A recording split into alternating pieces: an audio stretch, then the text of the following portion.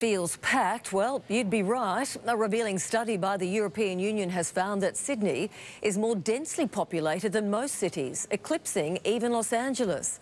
Ali Donaldson has more.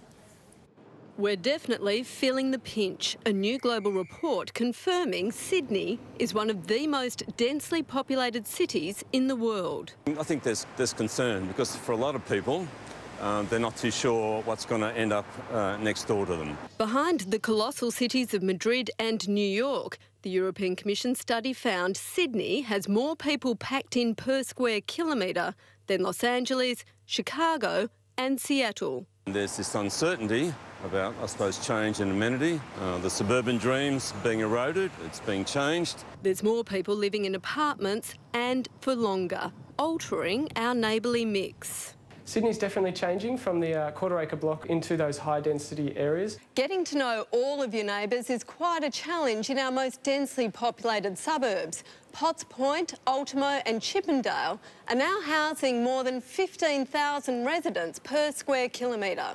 Limited space in Ultimo means the much needed new school will be built upward. Pressures on infrastructure are peaking. We have been working very hard on an open spaces policy, on making sure that there's only development where it's appropriate. The University of Sydney, working with Lendlease, has a solution, designing a prototype for the apartment of the future. Its prefabricated timber walls move to suit changing needs. And it's been unveiled just in time. Australia's population hits 25 million early next month. Ali Donaldson, 10 Eyewitness News. The Premier is set